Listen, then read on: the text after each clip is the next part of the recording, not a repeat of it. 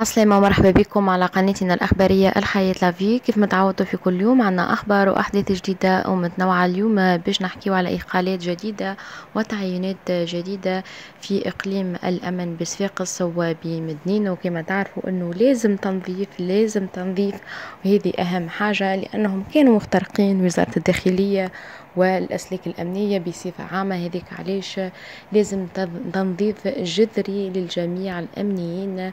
الرؤوس الكبيرة بالطبيعة ومنها حتى صغيرة اللي مازال تتوصل في الأخبار حاليا. أفادت إذاعة موزاييك يوم الأربعاء بأنه تقرر تعيين عادل القاسم مديرا للإقليم الأمني الجهوي بصفاقس خلافا لكمال المنصوري. كما تقرر تعيين العميد زيد البهلول مديرا لإقليم الأمن الجهوي بمدنين خلافا لعلي البوغانمي وفق ذات المصدر. هذه الكل تعليمات ومعناتها أمر من رئيس الجمهورية قيس سعيد اللي قال لازم تنظاف من الأمنيين معناتها بصفة عامة وزارة الداخلية وذيك علاش رضا الغرس اللاوي آه، وزير الداخلية قاعد يقوم بالواجب ويخدم على روحه والحمد لله.